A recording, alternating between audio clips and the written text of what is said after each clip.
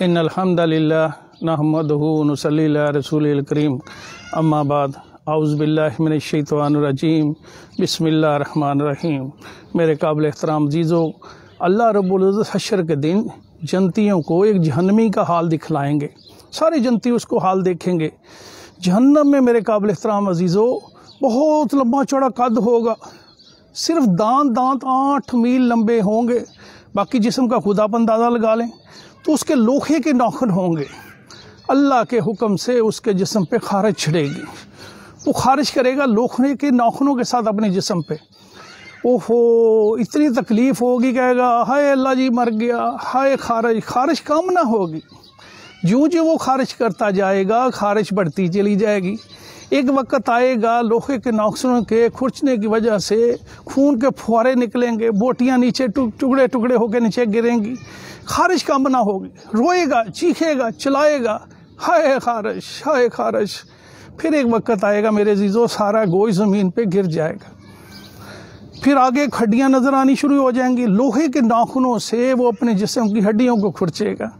وہاں سے پاؤڈر نکلنا شروع ہو جائے گا۔ تکلیف کی انتہائی شدت ہوگی۔ چیخے مارے گا۔ اللہ جی مر گیا۔ اللہ جی مر گیا۔ اللہ کہے گا، بڑی تکلیف ہو رہی ہے۔ جی اللہ جی بڑی تکلیف ہو رہی ہے۔ اللہ جی مجھ سے کھاری سنبھالی نہیں جا رہی۔ اللہ جی مجھے معاف کر دیں۔ اللہ کرا وقت گزر گیا۔ اللہ نے کہا، تجھے یاد ہے؟ تو نے میرے بندوں پہ قیامت ڈال دی تھی دنیا میں۔ تو نے کئیوں کے زنا کیا، کئیوں کے پلاٹوں پہ قبضہ کیا، کئیوں کے حق مارے، کئیوں کے بے انصافی کی۔ تو میرے بندوں کو تکلیف دیا کرتا تھا؟ ارے بدبخت، میں نے تجھے ہاتھ دیے تھے، تو کسی کا بلا کرتا؟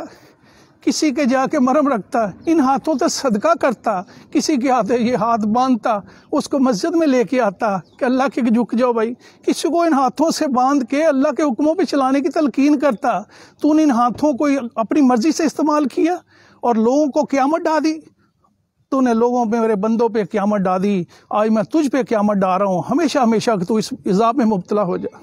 میرے عزیز ہو میں چاہتا ہوں یہ میرے ساتھ نہ ہو، آپ کے ساتھ نہ ہو، یہ تبھی ممکن ہے۔ اگر ہم اللہ کے حکموں پہ اس کے حبیب محمد صلی اللہ علیہ وسلم کے طریقے پہ چلیں گے، تو یہ منت ہے منت ہے اللہ کے واسطے، اللہ کے واسطے۔ جن کا حق مارا ہے، ان کو جا کے واپس کرو واپس کرو۔ جن کی زمینوں پہ قبضہ کیا ان کو واپس دو۔ اللہ نے کہا، میں حقوق الباد معاف نہیں کروں گا، حقوق اللہ کر دوں گا، حقوق الماد نہیں کروں گا۔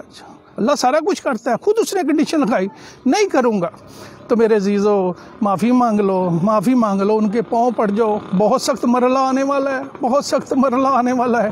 اس لیے میری گزارش ہے، منت ہے، اللہ کے حکموں پہ آ جاؤ۔ پانچ وقت مسجد میں جا کے نماز ادا کرو، روزانہ قرآن کی تلاوت کرو۔ جن کے حق مارے ہیں، ان کو جا کے معافی مانگو۔ ان کو واپس کرو۔ جن کی زمینیں دبائی ہیں، جن کے پیسے دبائے ہیں، جن کے ساتھ بے انصافی کی ہے، جن کے ساتھ زبان سے تیر کے نشتر ہم نے چلائے ہیں، ان سے معافی مانگ لو۔ ابھی موقع ہے، جب موقع ختم ہو جائے گا مولت ختم ہو جائے گی، پھر پچھتائیں گے۔ اب پچھتائے کیا جب چڑیاں چگ گئی کھیت، اللہ مجھے بھی، آپ کو بھی، اپنے حکموں کے مطابق، اپنے نبی محمد رسول اللہ علیہ وسلم کے طریقوں پہ زندگی گزارنے کی تفیق عطا فرمائے۔ وہ آخرطان الحمد للہ رب العالمین۔